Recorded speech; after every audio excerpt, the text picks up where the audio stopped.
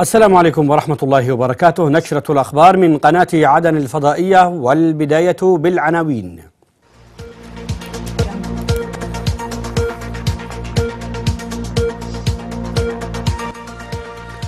رئيس الجمهورية يستقبل السفير الفرنسي ويبحث معه مجمل القضايا والموضوعات التي تهم البلدين.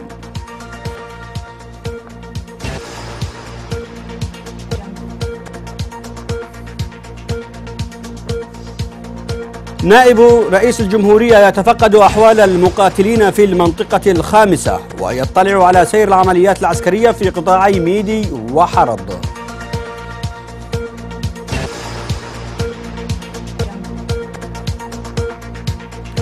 الجيش الوطني يسيطر على مواقع جديدة في ميدي وطيران التحالف يستهدف مواقع الميليشيا بمأرب وشبوة وتعز.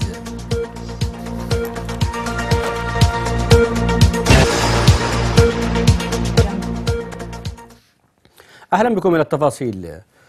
بعث فخامة الرئيس عبد ربه منصور هادي رئيس الجمهورية برقية تهنئة لنظيره السنغالي ماكي سال هنأه فيها بمناسبة ذكرى استقلال بلاده وعبر رئيس الجمهورية في البرقية عن أصدق التهاني وأطيب التمنيات له بهذه المناسبة متمنيا لفخامته موفور الصحة والسعادة ولحكومة وشعب جمهورية السنغال الشقيق المزيد من التقدم والازدهار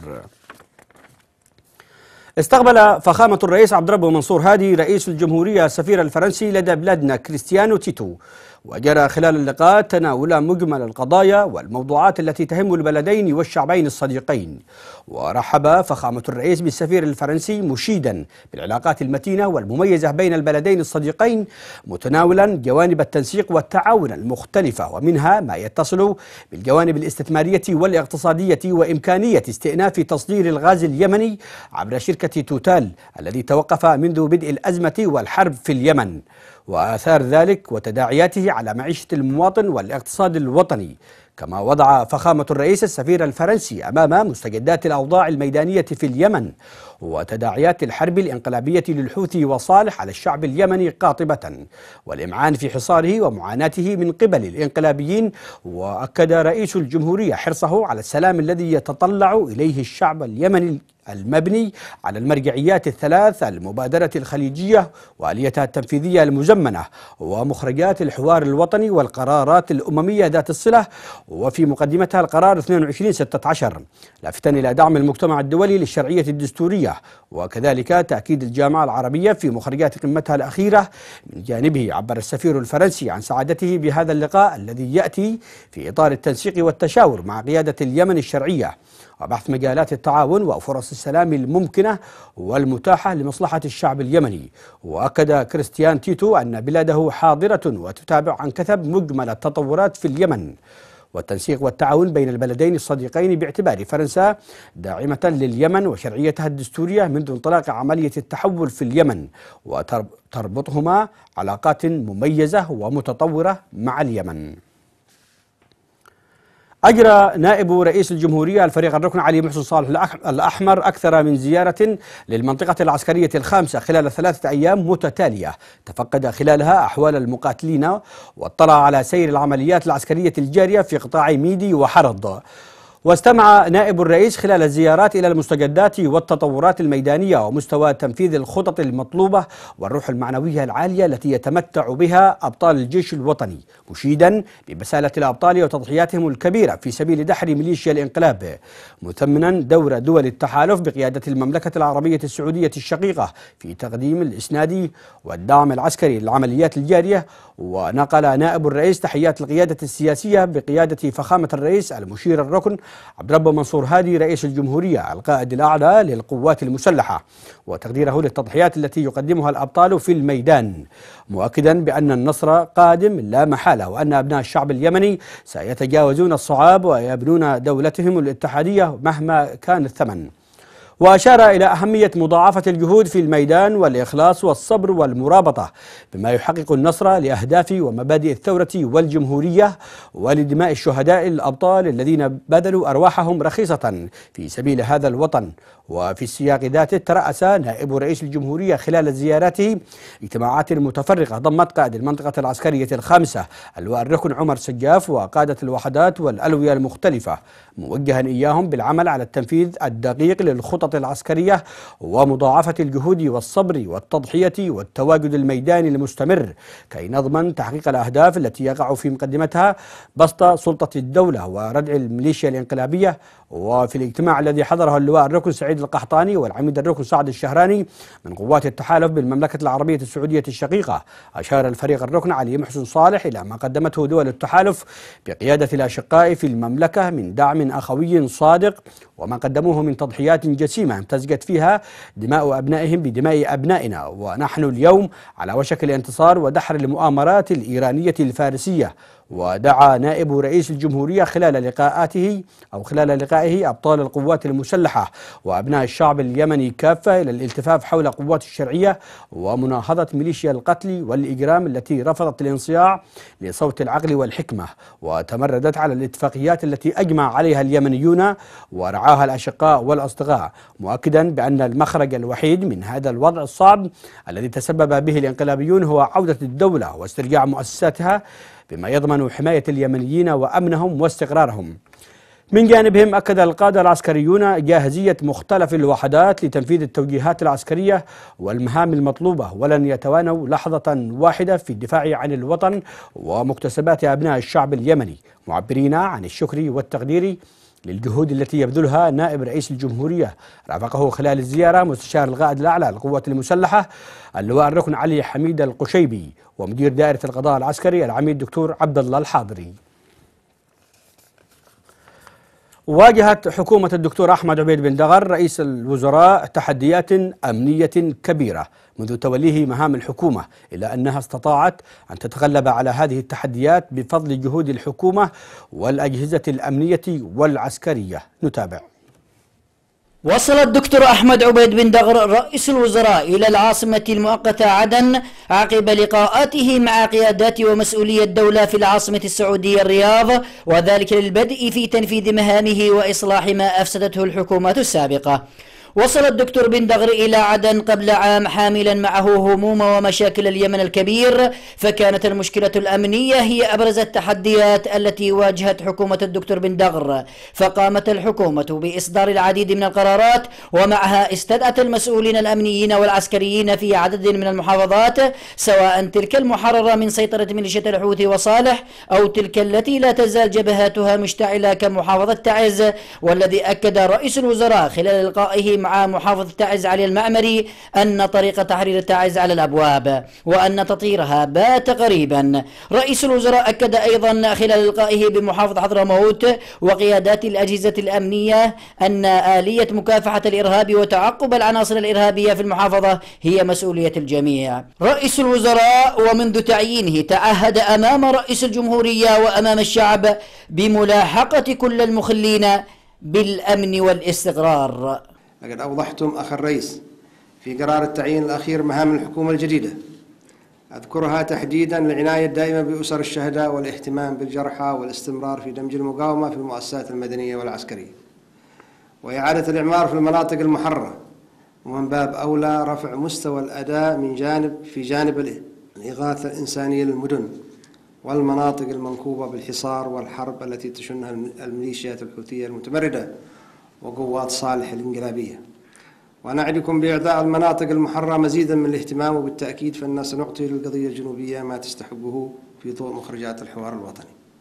سنعمل وفق توجيهاتكم وبإصرار لا يكل ولا يمل وبالتزامن مع تنفيذ هذه المهام على دحر وهزيمة الإنقلاب واستعادة الدولة سلما أو حربا. جهود الحكومة الشرعية في استتباب الأمن والاستقرار. جاء بعد تحركات كبيرة لرئيس الوزراء وقيادات المحافظات المحررة والأجهزة الأمنية وقياداتها والذين بدورهم عملوا على ملاحقة كل المخلين بالأمن والاستقرار من عناصر تنظيم القاعدة أو خلايا المخلوع صالح والحوثي والذين لا يريدون استقرار اليمن بل أصبحوا مصدرين للعنف والإرهاب.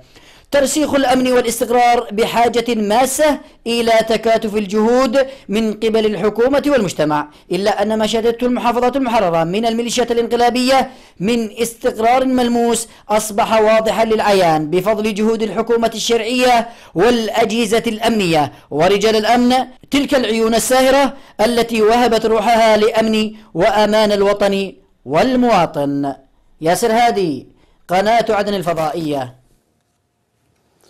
استنكر مكتب التربية العربي لدول الخليج ما قامت به منظمة الأمم المتحدة للطفولة اليونيسيف من تمويل طباعة كتب دراسية تم تحريفها وتحمل أفكارا طائفية تحرض على استمرار العنف باليمن.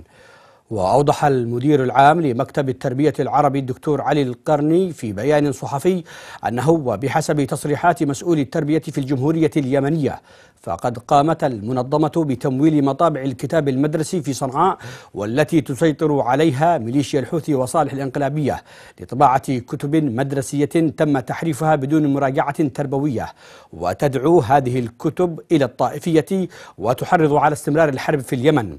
وذكر البيان أن ما قامت به المنظمة يتعارض مع أبسط القيم التربوية النبيلة ويتعارض مع قيم الأمم المتحدة وميثاقها وقانون حماية الطفل وقرارات الأمم المتحدة ذات العلاقة وأشار المكتب التربوي العربي إلى أن ما قامت به المنظمة يعد تشجيعا لتحريف كتب دراسية لأهداف عنصرية وطائفية. ودعا المدير العام للمنظمة أنتوني لينك لمراجعة موقف المنظمة والتحقيق فيما أعلن عنه المسؤولين في وزارة التربية والتعليم في اليمن. تمكن الجيش الوطني من تحقيق انتصارات ميدانية كبيرة بمساندة طيران التحالف العربي والسيطرة على عدد من المواقع في مدينة ميدي غرب محافظة حجة. وقال الناطق الرسمي للقوات المسلحة العميد الركن عبد مجلي إن الجيش الوطني تمكن من قطع الإمدادات عن الميليشيا الإنقلابية والسيطرة على الخط الإسفلتي الذي يربط مدينة ميدي بمدينة حرض. وأضاف أن الميليشيا الإنقلابية فخخت مدينة ميدي بالألغام وأن الجيش الوطني يقوم بتطهير الألغام من الجهة الشمالية والشمالية الغربية. من قبل الفرق الهندسية العسكرية وتم تمشيط عددا من المباني وأشار العميد مجلي إلى أن الجيش الوطني كبد الميليشيا خسائر فادحة في الأرواح والمعدات وأجبرهم على التراجع وشن أبطال الجيش الوطني هجوما عنيفا على مواقع الميليشيا في محيط مدينة ميدي سقط خلاله العشرات من الميليشيا بين قتيل وجريح. وسيطر الجيش الوطني على المباني الواقعة جنوب غرب مدينة ميدي كما تمت السيطرة على منطقة الحوض وتبت الخنادق وتبت الحرورة من جهة جنوب شرق المدينة. نتابع. هنا كانوا يختبئون كالفئران. هذه ملزمة الثقافة القرآنية تاريخ 4 8 2002 اليمن صعدة. هذه بعض الملازم التي يغرر بها الشباب ويدفعوا ويدفعوا بهم إلى جبهات القتال. الله أكبر. الله أكبر. هذه يستخدمونها في وهذا خبز. هذا خبزهم.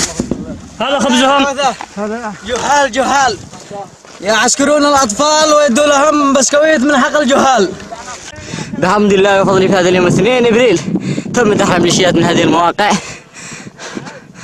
وهذه مدينة ميدي من هنا والصلاة والشهادة ندخل صنعاء قريب. الحمد. هذه كانت قاعدة لهم لإحدى أعيرتهم النارية قاعدة هذه كانت للميليشيات يستخدمونها. قاعدة 12 سبعة. هذه آثار صاحب ال- الميليشيات لجثثهم. هم يسحبوا جثثهم. فارين هاربين. من هنا كانوا يسحبون الجثث. من ال- المواقع ال- المتقدمة التي تم السيطرة عليها. وتم دحرهم بفضل الله. والجيش الوطني تم دحرهم إلى خلف المدينة ونحن الآن مسيطرين على الزبلت وعلى المدينة وماسكين فيها أخواننا وتم دحرهم من هؤلاء التبات. هذه أيضا بعض من متارس ال- الميليشيات التي كانوا يختبئون فيها. هنا كانوا. من هنا مر الجيش الوطني وداس على أنوف. هؤلاء الميليشيات؟ سنحاول أن- نقوم بجولة عامة على بعض المواقع التي سيطرنا عليها في هذا اليوم 2 إبريل يوم الأحد. هنا كانت الميليشيات. هذه قذائرهم التي الذي تركوها وفروا كالجرذان بيستخدموها هذه الحبوب حق منع الحمل يعني بيستخدمونها يعني للنزيف ما بينزفوش الدم. هذا هو. عندما يعني يقع فيهم أي شيء ولا شيء يعني ما بينزف دم يعني على الحمير.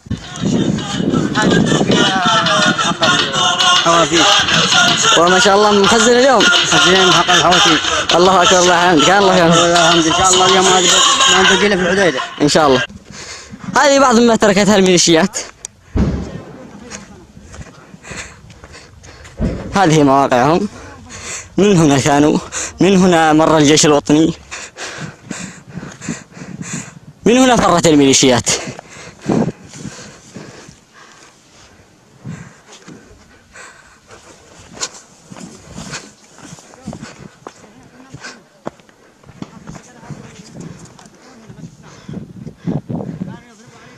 وهذه إحدى الجثث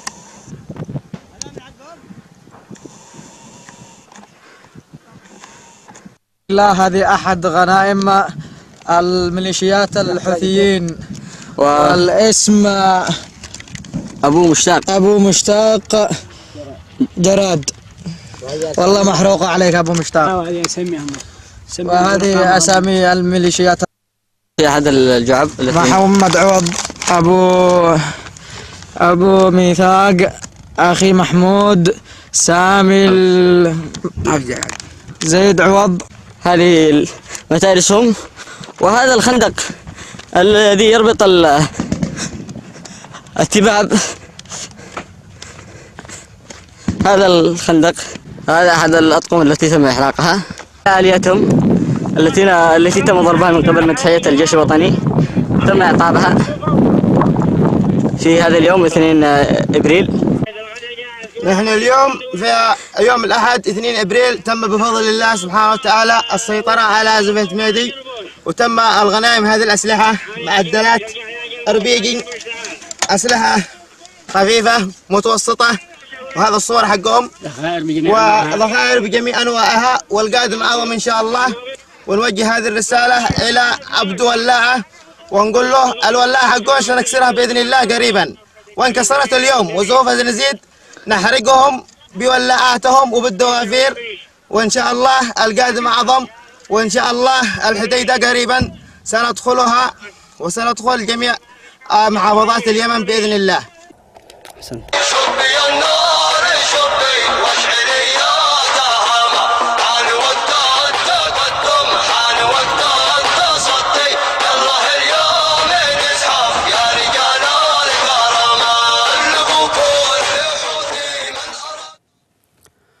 دمر طيران التحالف العربي منصة لإطلاق منصة لإطلاق الصواريخ البالستية في منطقة المسجح التابعة لمديرية سرواح شمال غرب محافظة مأرب.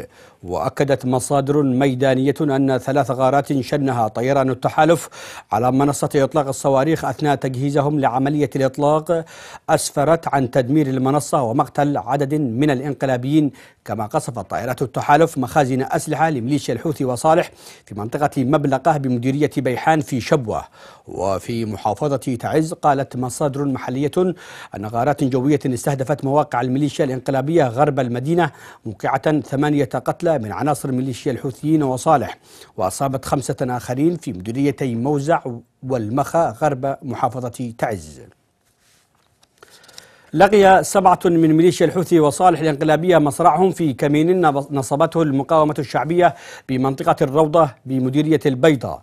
وأوضح مصدر في المقاومة أن المقاومة نصبت كمينا للميليشيا الانقلابية بمنطقة الروضة مديرية البيضاء أسفر عن مصرع سبعة من العناصر الانقلابية وتدمير الطقم الذي كان يقلهم. وفي سياق الاعتداءات المستمرة بحق المواطنين وممتلكاتهم قصفت الميليشيا عشوائيا بصواريخ الكاتيوشا والمدفعية الثقيلة مناطق المواطنين بالصومعة والصفراء والحازمية بمديرية الصومعة.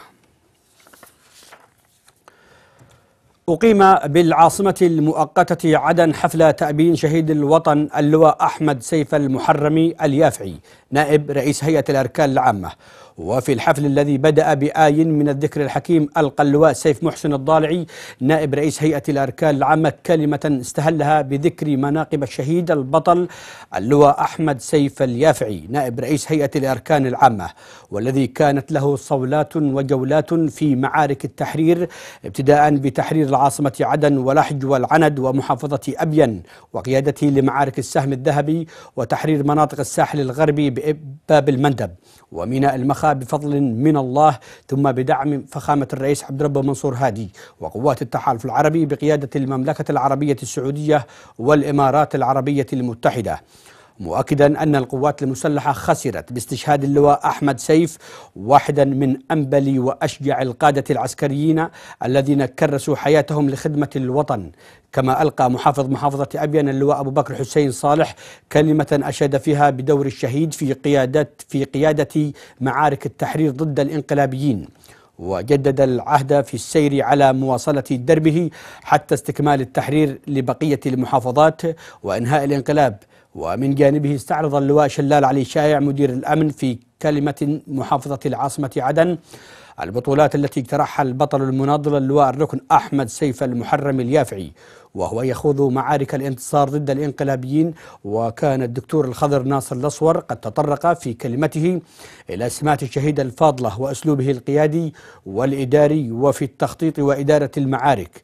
فيما عبر نقل الشهيد المهندس منيف أحمد سيف عن شكره وكل أفراد أسرة الشهيد لكل من قدم التعازي والمواساة باستشهاد اللواء البطل أحمد سيف. وكانت قد ألقيت عدد من الكلمات أكدت أهمية الدور العسكري والقيادي للشهيد والتي تكللت بالانتصارات وتحرير المحافظات الجنوبية ومناطق الساحل الغربي من محافظة تعز ولحج نتابع. البطل من أبطال محافظة أبين من أبطال المحافظات الجنوبية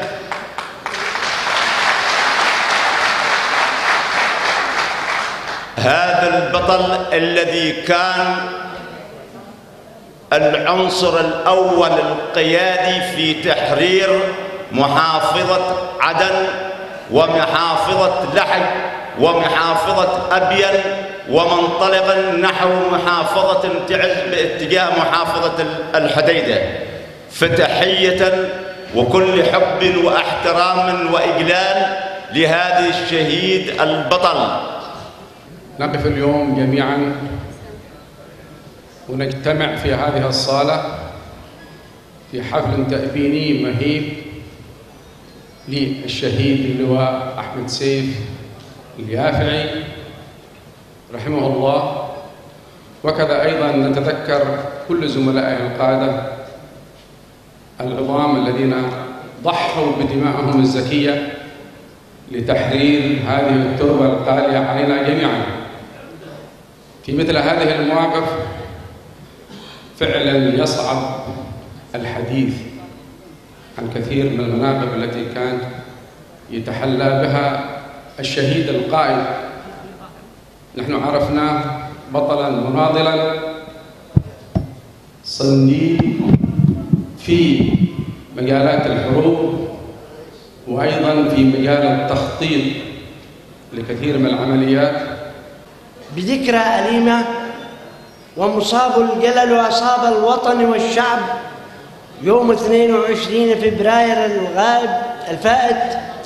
ذكرى مرور أربعين يوما عن استشهاد فارس النضال والكفاح ورمز الوطن والجيش الوطني اللواء أحمد سيف اليافعي المحرمين.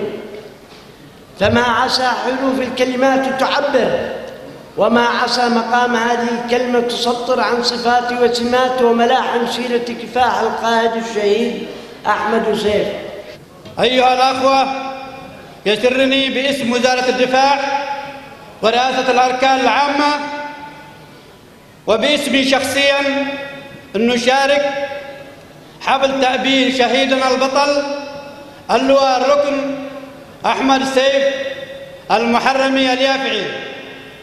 قد رحل عنا رجل فيه خير الخصال لا نزكي على الله أحدا فهو وطني غيور لا يؤمن بالعرقية نذر حياته للوطن بنكران ذات مطلق. عاش محاربا ومات محاربا في ميدان الشرف والقتال. محبا للناس يؤمن بالعدل والمساواة بين الناس ويكره الظلم والظالمين. في ظل الرعاية التي توليها قيادة رئاسة هيئة مستشفى مأرب العام أحيت الذكرى الأولى لاستشهاد الدكتور فؤاد الرحيمي الذي استهدفته الميليشيا الإنقلابية بصاروخ الموت والدمار وهو يؤدي واجبه الإنساني في المستشفى إلى التفاصيل. إنسانية متميزة نحو ما قدمه الشهيد الدكتور فؤاد الرحيمي الذي استهدفته العصابات الإجرامية الحوثية بصاروخ الموت والدمار. وهو يؤدي واجبه الوطني والإنساني في مستشفى الهيئة العام بمحافظة مأرب قبل عام من الآن. أحيت رئاسة هيئة المستشفى العام اليوم الذكرى الأولى لاستشهاد الدكتور فؤاد الرحيمي. في الذكرى الأولى لاستشهاده وفي جميع هذه يعني ال المناسبات أن يحضرنا وبفاعلية وأن نوصل اسمه وأن نوصل تضحيته لكل الناس.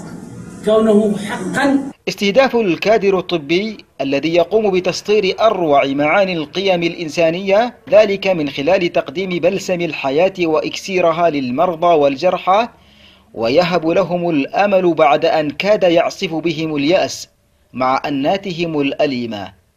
لكن الميليشيا الانقلابية المتعطشة لمزيد من دماء الأبرياء لم تفرق بين طبيب ومعلم. بل استهدفت الجميع بإجرامها وإرهابها وصدرت المآتم والأحزان لكل بيت في الوطن الحبيب. آه الاسم المهندس صدام أحمد إسماعيل الرحيمي آه شقيق الشهيد الدكتور فؤاد الرحيمي. آه في مثل في مثل هذا هذا اليوم من العام الماضي الموافق 3 4 2016 حصل حادث مروع وكان يوم دامي وهو استهداف ميليشيات الحوثي والمخلوع للشهيد أخي الدكتور فؤاد الرحيمي وهو في هذا في هذا المستشفى أثناء تأدية عمله في هذا المكان الذي يقدم الخدمة للناس. لا تجزع ولا تحزن أيها الطفل البريء فرفاق أباك من الكادر الطبي لن ينسوك وسيظلون اليد الحانية لك ولأسرتك الشامخة فالرحمة لأباك والخزي والعار لميليشيا التمرد والانقلاب الجبانة رفيق السامعي لقناة عدن الفضائية مأرب. أقامت كليات الطب جامعة عدن حفلا تكريميا للجنة الصحية في الجمعية الكويتية للإغاثة ممثلة برئيسها الدكتور محمد أحمد الشرهان والوفد المرافق له تقديرا وعرفانا للدعم الكبير الذي قدم من دولة الكويت لجامعة عدن. وفي الحفل الذي حضره الدكتور حسين باسلامة وزير التعليم العالي والبحث العلمي واللواء الركن شلال علي شاع مدير أمن العاصمة عدن ونواب رئيس الجامعة وعمداء الكليات ألقى الدكتور الخضر ناصر الأصور رئيس جامعة عدن كلمة أشاد من خلالها بالعلاقات الأخوية التاريخية القوية التي تربط الشعبين الشقيقين اليمني والكويتي. معتبرا هذا التكريم هو تكريما لدولة الكويت أميرا وحكومة وشعبا ولجان الإغاثة والجمعيات الخيرية فيها لدورهم ووقوفهم الدائم إلى جانب أشقائهم في اليمن. وثمن رئيس الجامعة كثيرا الدعم السخي لدولة الكويت للجامعة في عدة مجالات ستخدم العملية الأكاديمية والتعليمية فيها مستعرضا وقوفها منذ القدم مع أشقائها في اليمن والذي كان له أثرا بالغا في بناء العديد من المؤسسات الصحية والتعليمية إيمانا منها بعمق علاقتها الأخوية مع الشعب اليمني. فيما عبر الدكتور محمد أحمد الشرهان رئيس جمعية صندوق إعانة المرضى الكويتي ورئيس اللجنة الصحية في الجمعية الكويتية للإغاثة عن جزيل شكره وتقديره لقيادة الجامعة ممثلة برئيسها الدكتور الخضر ناصر الأصور وأعضاء مجلس الجامعة وعمداء كليات الطب الثلاث. على هذه اللفتة الكريمة التي تعبر عن مدى عمق العلاقات الأخوية ورساختها مؤكدا أن اللجنة الصحية في الجمعية الكويتية للإغاثة تسعى إلى تطوير الخدمات التعليمية الصحية في اليمن والعمل على تحديثها إلى ذلك. قام عمداء كليات الطب الثلاث بتقديم الدرع التذكارية للدكتور محمد أحمد الشرهان رئيس جمعية صندوق إعانة المرضى الكويتي ورئيس اللجنة الصحية في الجمعية الكويتية للإغاثة لجهوده المباركة وتعاونه الكبير في دعم قطاع التعليم الصحي في جامعة عدن ضمن حملة الكويت إلى جانبكم. وفي الحفل ألقيت العديد من كلمات الشكر والثناء لدولة الكويت الشقيقة لدعمها الإنساني المتميز والسخي لأشقائها في اليمن. بصفة عامة وجامعة عدن تحديدا من خلال تدخلها العاجل ضمن برامج إعادة الإعمار والتأهيل للبنى التحتية التي تضررت بسبب الحرب الأخيرة على عدن وتداعياتها السلبية على الجامعة. وعلى هامش زيارة الوفد الكويتي لكليات الطب تفقدوا خلالها أعمال المعرض العلمي لأسبوع الطالب الجامعي في كلية الطب والعلوم الصحية والذي شمل العديد من المشاركات العلمية والمقسمات والعيادات الطلابية ومعارض المجلات الحائطية لطلاب كلية الطب والمختبرات الطبية. كما تم عرض أفلاما وثائقية لكليات الطب الثلاث لخصت المراحل التاريخية لتأسيسها والصعوبات التي تمر بها وتوجهاتها المستقبلية والمشاريع الاستراتيجية.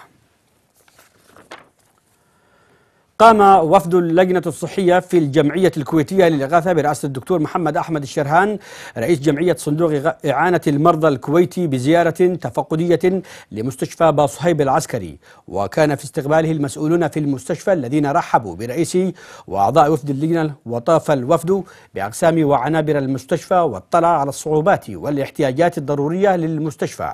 كما زار الوفد مستشفى الشعب في مديرية سيرة. وكان في استقباله الأخ خالد سيدو مدير عام مديرية سيرة. ومديرة المستشفى الدكتورة نهلة الكعكي والطاقم الطبي والتمريضي بالمستشفى. واستمع الدكتور الشرهان إلى شرح تفصيلي حول عدد من الأمور المتعلقة بالتجهيزات الفنية والصعوبات التي أثرت سلبا على سير العملية الصحية في بعض الأقسام التوليدية والأطفال كما قام الوفد بزيارة تفقدية للمعهد الصحي للقبالة والتمريض في مديرية المعلى واطلع على سير العمل فيه والصعوبات وأهم احتياجات المعهد وتعرف على قدرات الكادر التي يضمها المعهد كما قام الوفد بزيارة مماثلة إلى مركز الرعاية الصحية الأولية حيث التقى الدكتور صالح باراعية أو بارعيه مدير مركز المركز وخلال اللقاء تم تبادل الآراء والأفكار والأفكار ذات الصلة بتطوير التعليم الصحي في المحافظة بوجه عام والمركز بوجه خاص. هذا وكان الدكتور عبد الناصر الوالي مدير عام مكتب الصحة بعدن قد رافق وفد اللجنة الصحية في الجمعية الكويتية للإغاثة خلال زيارته الميدانية التفقدية لمستشفيات ومرافق عدن الصحية. اختتمت كلية الطب والعلوم الصحية بجامعة عدن الفعاليات الداخلية لأسبوع الطالب الجامعي الذي نظمته الكلية برعاية الدكتور الخضر ناصر الأسور رئيس الجامعة تحت شعار لننير مستقبل جامعة عدن بمصابيح الأمل والإبداع والذي شمل العديد من المشاركات العلمية والمجسمات والعيادات الطلابية ومعارض المجلات الحائطية لطلاب كلية الطب والمختبرات الطبية. وفي حفل الختام الذي حضره نواب رئيس جامعة عدن والسلطات المحلية بالمحافظة وعدد من عمداء الكليات ومدراء العموم بالجامعة. شاد الدكتور الخضر ناصر الأسور رئيس جامعة عدن بالأنشطة اللاصفية التي تميز بها التي تميز بها طلاب كلية الطب من خلال المشاركة الفاعلة بالعديد من الإبداعات والأنشطة والأعمال التطبيقية في هذا المعرض الذي يعكس مدى اهتمام عمادة الكلية وأعضاء هيئة التدريس فيها بأبنائهم الطلاب والعملية التعليمية في الكلية وتحفيزهم على الأنشطة اللاصفية التي تنمي معارفهم العلمية في مجالاتهم وتخصصاتهم الطبية. نظمت جمعية حضرموت للتوحد بساحل حضرموت بالمكلا الحفل الفني والتكريم السنوي الثاني تزامنا مع فعاليات الاحتفاء باليوم العالمي للتوحد. وفي الحفل ألقى محافظ حضرموت اللواء الركن أحمد سعيد بن بريك كلمة أشار فيها عن أهمية هذه المناسبة التي تتزامن مع احتفالات حضرموت بالذكرى الأولى لتحرير المكلا مؤكدا ضرورة الاهتمام بهذه الشريحة من ذوي التوحد الذين يحتاجون جل الرعاية من خلال تلبية كافة متطلباتهم واحتياجاتهم. وتوفير بيئة بيئة مناسبة لحياتهم اليومية. ووجه الأخ المحافظ بتخصيص مبنى مستقل للساحل والوادي لرعاية مرضى التوحد حسب المواصفات العلاجية المتطورة بكلفة مالية تبلغ 40 مليون ريال يمني إضافة إلى تنفيذ العيادة الصحية الخاصة بهم. ضمن إطار مشروع المبنى كما وجه بسرعة إدماج معلمات ومدربات جمعية التوحد في الوادي والساحل ضمن سلك التعليم بوزارة التربية بساحل حضرموت وتوجيه الغرفة التجارية بالساحل والوادي بتوفير أربعة باصات للجمعيات. عقدت لجنة الإغاثة بأبين اجتماعا لها برئاسة الأمين العام للمجلس المحلي مهدي محمد الحامد وبحضور وبحضور مدير عام مكتب محافظة أبين الدكتور فيصل الدابية وناقش الاجتماع سير عملي ونشاط اللجنة خلال عام 2016 واتجاهات العمل في العام الجديد 2017 وسبل زيادة برامج الإغاثة لسكان محافظة أبين والتي تعرضت خلال عامي 2011 و2015 لأبشع صور المعاناة الإنسانية من نزوح إجباري وقتل وتشريد لم تشهده المحافظة في عصرها الراهن واستعرضت اللجنة الجهود المبذولة مع الجهات الإغاثية المختلفة. وفي مقدمتها مركز الملك سلمان وغيرها من جهات الإغاثة الدولية المختلفة وأكد الاجتماع على أهمية رفع احتياجات المحافظة الضرورية والهامة وزيادة برامج التنسيق الإيجابي مع مختلف المنظمات الدولية وإيصال المساعدات الإنسانية إلى جميع مديريات المحافظة. وكذا التنسيق للجنة ومنظمات المجتمع المدني وذلك لتطوير وتحسين النشط أو النشاط الإغاثي الفاعل على المدى المنظور. ناقش الأخ عدنان الكاف وكيل محافظة عدن للتنمية نائب رئيس لجنة الإغاثة مع مدير منظمة كير العالمية الألمانية كارلول أوتوزينتل عمل المنظمة في الفترة الماضية والمستقبلية في مجالات الصحة والتعليم والصرف الصحي والكهرباء ورفع القدرات للكادر الحكومي وللشباب في العاصمة عدن. كما رحب الكاف بالوفد الألماني الزائر للعاصمة عدن ونقل لهم تحيات محافظ العاصمة عدن الذي طلب من جميع الإدارات الحكومية تسهيل كل الإجراءات لجميع المنظمات الدولية الحكومية وغير الحكومية حتى يتمكنوا من أداء مهامهم على أكمل وجه. وقال الكاف إن عدن والمحافظات الجنوبية ظلمت طوال السبعة والعشرين العام السابقة وتم حرمان كادرها من التدريب والتأهيل وتم تسريح أبنائها من الوظائف الحكومية في انتهاك صارخ وواضح لحقوق الإنسان. وطلب نقل مكتب كير الرئيسي من صنعاء إلى العاصمة المؤقتة عدن. وكذا مكاتب بقية المنظمات الدولية من جانبه تحدث مدير المنظمة العالمية الألمانية كارل أوتو زينتل إن ما يسمعه في الإعلام غير مشاهد على الواقع في العاصمة عدن. كما شكر مدير المنظمة السلطة المحلية في العاصمة عدن على التسهيلات المقدمة واستتباب الأمن. حضر اللقاء مدير مكتب كير الألمانية في صنعاء وائل إبراهيم الحاج ومدير مكتب كير الألماني في عدن الدكتور إفتكار السقاف الدكتور إفتكار السقاف ومدير التخطيط والتعاون الدولي إنتصار مرشد والمستشار الإنساني الدكتور مختار صالح والمسؤول الأمني ريمل أو رميل عبد الستار. قام وكيل محافظة لاحج الأخ وضاح الحالمي بزيارة تفقدية لمستشفى بن خلدون العام للاطلاع على حجم الخدمات المقدمة للمواطنين في قسم الطوارئ والطوارئ التوليدية. ووجه وكيل المحافظة بضرورة توفير احتياجات الأقسام الضرورية ودعم الصيدلية المجانية بمختلف الأدوية كي تسهم في تلبية المرضى المحتاجين وكذا في الحالات الطارئة مشيرا إلى أن معظم المترددين على المستشفى هم من الفقراء على مستوى المحافظة ويجب تغطية العجز في الكوادر الطبية المتخصصة بما يمكن من تقديم خدمة طبية متكاملة وتجنيب المرضى التكاليف الباهظة في المستشفيات الخاصة. اطلع وكيل محافظة حضرموت لشؤون مديريات الوادي والصحراء عصام الكثيري على إجراءات تركيب مولدات كهربائية إضافية بقدرة 20 ميجا وات طاقة مشتراه من شركة الأهرام لتعزيز الطاقة الكهربائية بوادي حضرموت لمواجهة فصل الصيف القادم. وأبدى وكيل المحافظة الكثيري استعداد السلطة المحلية لتذليل أي صعوبات أو عراقيل قد تواجه تركيب المولدات الإضافية الجديدة التي سيتم توزيعها بين محطتي التوليد في كل من منطقتي قريب والغرف. وذلك في إطار جهود السلطة المحلية بمحافظة حضرموت بقيادة اللواء الركن أحمد سعيد بن بريك لتوفير خدمة التيار الكهربائي بوادي وساحل حضرموت فيما أوضح مدير عام المؤسسة العامة للكهرباء فرع وادي حضرموت المهندس عبد عبد القادر الجنيد أن المؤسسة تبذل جهودها للتنسيق مع شركة الأهرام للانتهاء من أعمال تركيب المحطة الجديدة في أقرب وقت لرفع القدرة التوليدية لكهرباء وادي حضرموت. حضر الاجتماع وكيل المحافظة المساعد لشؤون مديريات الوادي والصحراء المهندس هشام السعيدي ومدير عام شركة الأهرام بحضرموت المهندس هشام بن طالب. كرم مكتب التربية والتعليم بمديرية مأرب الوادي بمحافظة مأرب الطلاب والطالبات المتميزين والمبرزين في المسابقات الثقافية والعلمية والأنشطة الرياضية وعددا من المعلمين والمعلمات والإدارات المدرسية في إطار المديرية. مزيدا من التفاصيل في سياق التقرير التالي. الوادي هنا بمحافظة مأرب حفلا تكريميا للطلاب والطالبات المبرزين في الأنشطة الثقافية والعلمية وكذلك الرياضية. للعام الدراسي 2016-2017 ميلادية. الاحتفال الذي يقيم في المديرية بحضور وكيل محافظة الدكتور عبد ربه علي مفتاح ومدير عام مكتب التربية والتعليم الدكتور علي العباب. شهد فقرات متعددة وأناشيد معبرة من قبل الزهرات وطلاب المدارس. فدورنا اليوم دور كبير دور المدرس دور الإدارة. دور مشايخ ووجهاء وأعيان المنطقة ومنهم هذه المديرية التي قدمت الشهادات والشهداء. دورنا أن نبني جيل متحصن بدينه ووطنيته. هذا الجيل هو الذي سيخرج منه المهندس والطبيب والمعلم. أنا يحضرني كثير من الأساتذة وأيضا المهندسين وأيضا كان الأخ رحمة الله عليه الشهيد عبد الله جرادان كان من يتصدر ويدافع عن حياض الوطن وعن حياض هذه المحافظة ها أنتم اليوم تنعمون بالأمن والاستقرار الذي س...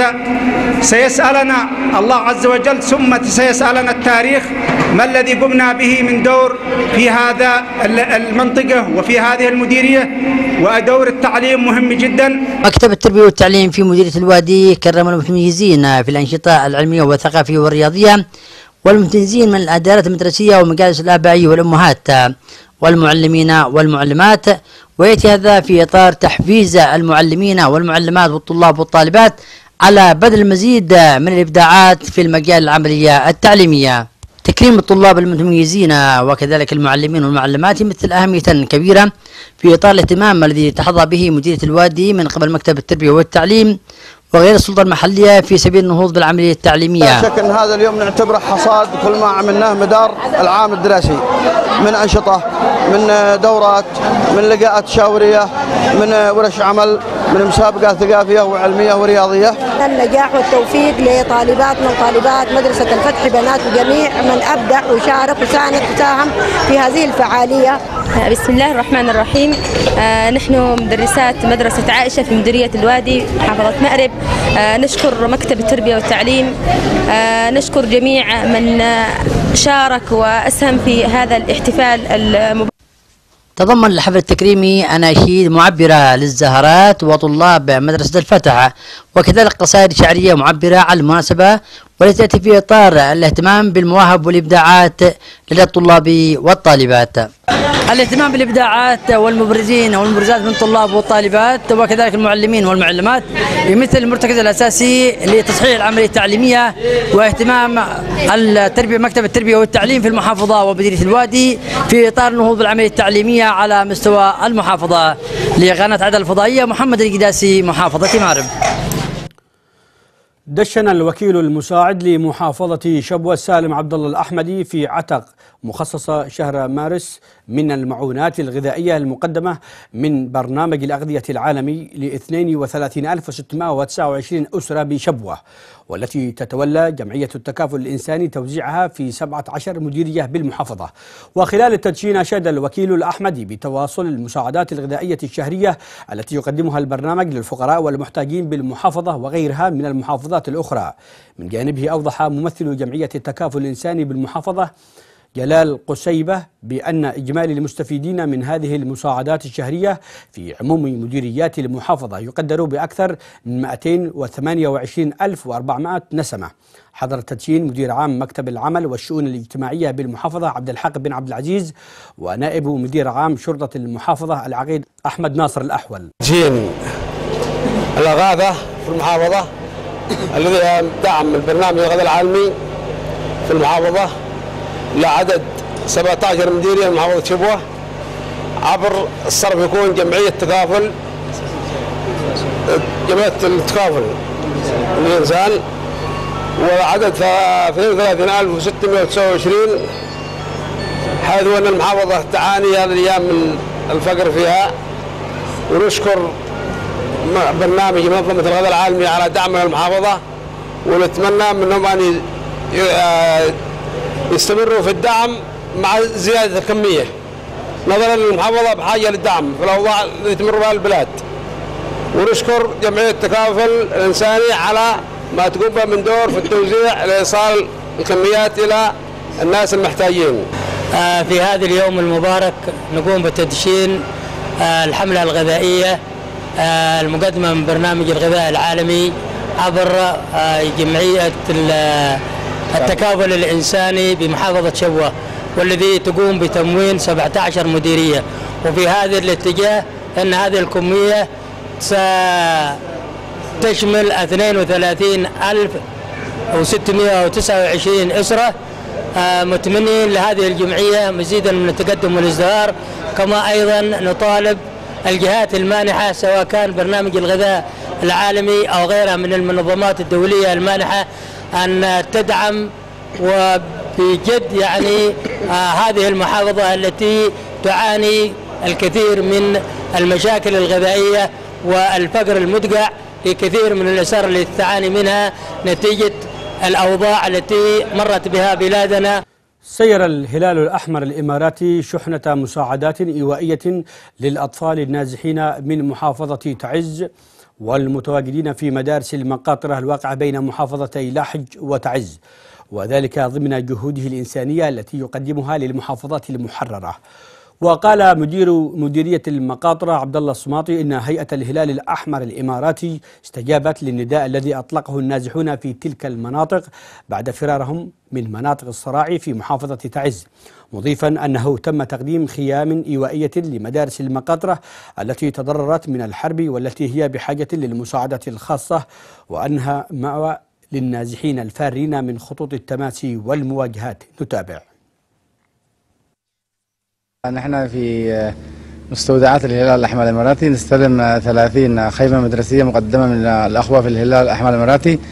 نتيجة لتلبية النداء الواجب الذي قدمناه للأخوة في الهلال الأحمر الإماراتي من نقص بعض الفصول الدراسية في مديرية المقاطرة. والأخوة مشكورين اليوم تم استلام الخيمة وسيتم توزيعها على المدارس المحتاجة وفقا لإعداد خطة التربية والتعليم. آه طبعا الاخوه في الهلال الاحمر الإماراتي لهم دور مميز في مديرية المقاطره آه من خلال آه دعم مكتب التربية والتعليم ب 500 شنطة أو حقيبة مدرسية آه مقدمة للنازحين ثم 70 سبورة أيضا مقدمة لمدارس المديرية التي بحاجة لسبورات مدرسية من النوعيه من النوع النوعيات الجيدة. إضافة إلى أنه الهلال الأحمر الإماراتي مشكورا قدم سله غذائية يعني تقريبا 17000 آه آه سله غذائيه مقدمه للنازحين وغير النازحين. آه إلا أن هناك تزايد كثير في مديرية المقاطر من الأخوة النازحين من محافظة تعز والحديدة وبعض المحافظات الجمهوريه نتيجة الحرب الدائرة في اليمن. وهذا يعني شكل عبء علينا في آه المديرية التقى مدير عام مديرية البريقة بمحافظة عدن هاني محمد اليزيدي بعدد من عقال الحارات والشخصيات الاجتماعية من مدينة الشعب والمناطق المجاورة لها. وفي اللقاء الذي حضره مدير شرطة الشعب النقيب محمد علي العقربي أكد اليزيدي على أهمية الدور المجتمعي المساند لجهود السلطة المحلية بالمديرية في متابعة وتحسين مستوى الأداء الخدمي والاستقرار الأمني. مشيرا إلى أن الأمن والاستقرار هو الداعم الأساسي لأي نهوض تنموي أو خدمي. واستعرض مدير عام المديرية هاني اليزيدي إلى جهود السلطة المحلية في معالجة الكثير من القضايا منها مشاكل الأراضي وذلك بفتح مكتب للأراضي في المديرية وتفعيل مكتب الشؤون القانونية وتشكيل لجنة صلح للأطراف المتنازعة. وتحدث في اللقاء العديد أو العديد من عقال الحارات والشخصيات الاجتماعية حول جملة من القضايا الخدمية والتنموية التي تهم مناطقهم بالإضافة إلى وضع المعالجات والمقترحات على حلها. زار مدير عام مديرية البريقة بمحافظة عدن هاني محمد اليزيدي مشروع شاليهات الرمال الذهبية الواقع في ساحل الغدير والتابع لأحد المستثمرين ويتضمن المشروع بناء شاليهات سوبر ماركت مطعم سياحي استراحة أماكن جلوس ومرافق أخرى والذي يقام على مساحة تقدر بخمسة آلاف متر مربع. وخلال الزيارة أكد اليزيدي على ضرورة الإسراع في تنفيذ المشروع حسب المخطط أو حسب المخطط المعتمد من قبل مكتب الأشغال العامة بالمديرية لما له من أهمية كبيرة في تقديم الخدمات السياحية وتوفير فرص عمل للشباب. وأبدى مدير عام المديرية هاني اليزيدي استعداد قيادة السلطة المحلية على تقديم كافة أوجه الدعم والتعاون لمثل مثل تلك المشاريع لافتا إلى أن مديرية البريقة تتميز بسواحل طبيعية ومواقع سياحية جذابة مما جعلها قبلة للسائحين والزائرين إليها. احتفلت جمعية رعاية وتأهيل حالات التوحد بمدينة سيئون بمحافظة حضرموت اليوم أو باليوم العالمي للتوحد تحت شعار شركاء في النجاح وتخرج أول دفعة بعدد خمسة أطفال تم دمجهم إلى رياض الأطفال بعد تأهيلهم بمركز العملي لحالات التوحد بسيئون.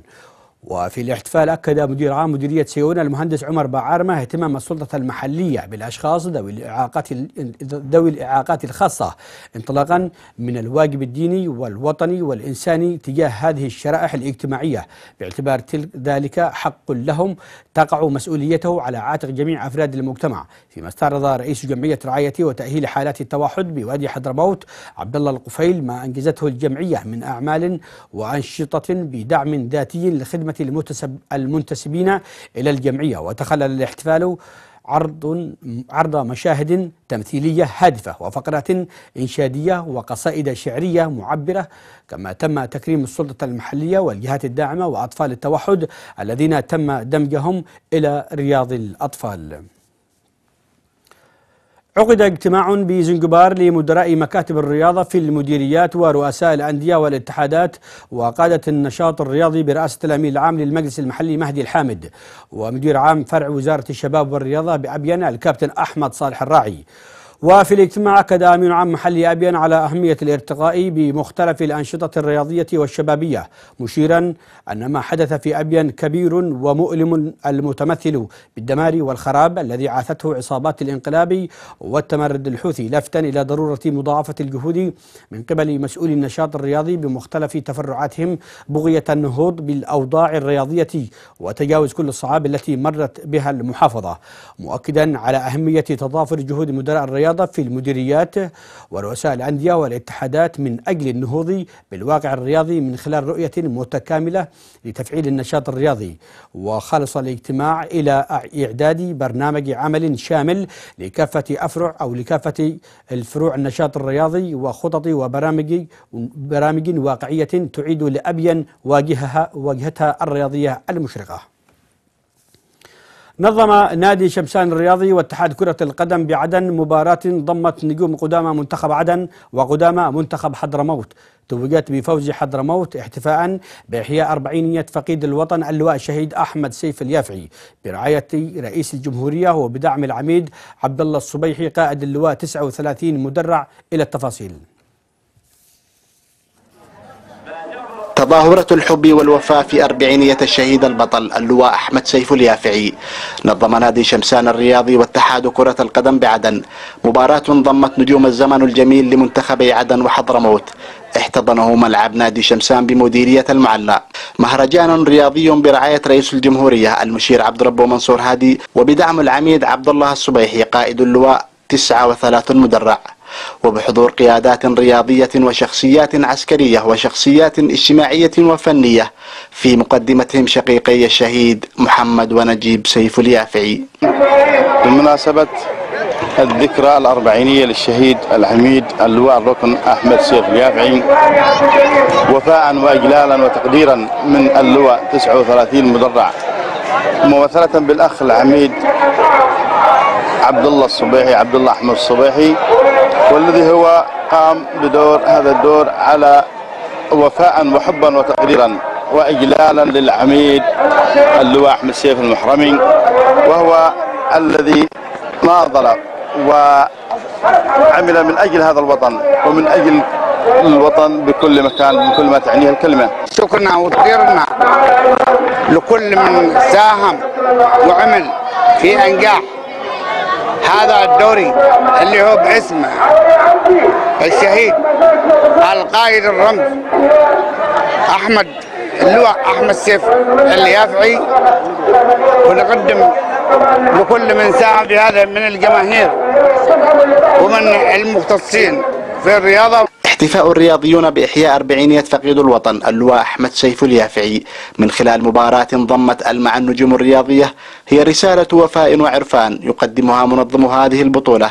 لشخصية عسكرية أحب وطنه فأحبه الناس. سعدنا بتواجد جميع من حضر معنا سواء من منتخب حضرموت قدماء حضرموت أو منتخب عدن في هذه الذكرى أو الفعالية. وسعدنا بتواجد الضيوف آه، سواء قياده أركان اللواء أو الأخوة في وزارة الشباب والرياضة. أو اشقاء الشهيد ال- مجيب نجيب ومحمد.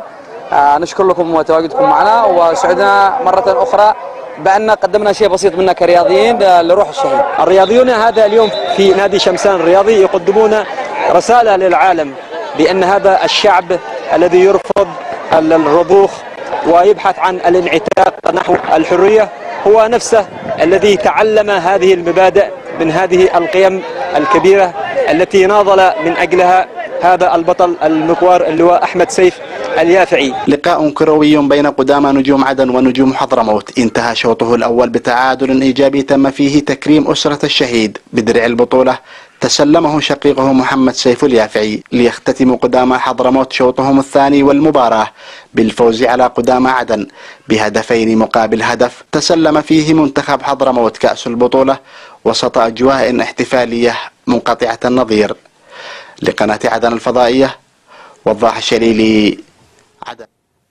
انتهت النشرة تذكير بالعناوين.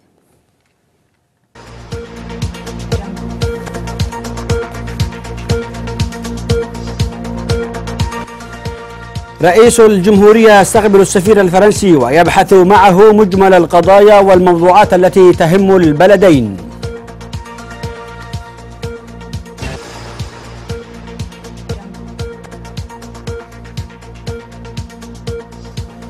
نائب رئيس الجمهورية يتفقد أحوال الم- المقاتلين في المنطقة الخامسة ويطلع على سير العمليات العسكرية في قطاع ميدي وحرض.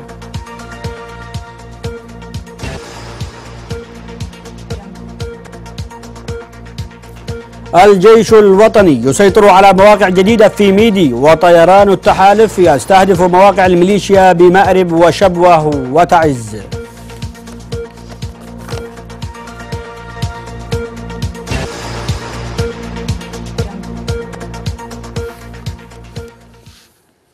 كان هذا كل شيء في نشرتنا مشاهدينا الكرام لهذه الليلة حتى نلتقي. نحن وإياكم في نشرات قادمة. دمتم في رعاية الله.